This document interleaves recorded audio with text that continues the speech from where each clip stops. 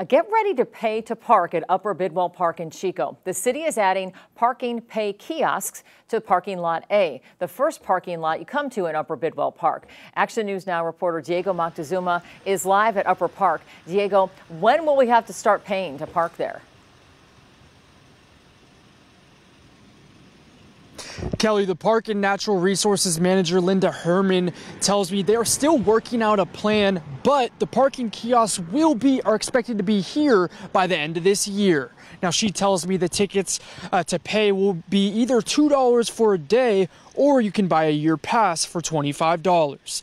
There will be two kiosks right here at this lot. Now, it is the first parking lot to the right as you pass Wildwood Park in Upper Bidwell. These will be the two drive through lanes to pay. I, I, I asked someone who drives to the park often how she feels about paying. Unless they use the money maybe to maintain the park, then that's that's fine with me.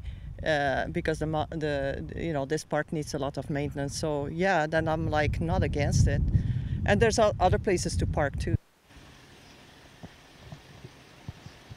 Herman says that they will be offering a couple days a week parking for free and also during special events. For seniors over 62 years old or people with disabilities, parking will be free.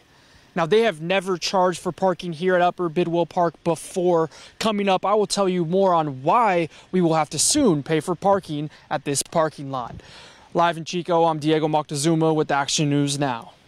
Big change. Okay, thanks for the heads up, Diego. Before installing the pay kiosks, license plate readers will also be installed into enforcement vehicles to know who's paid and who hasn't.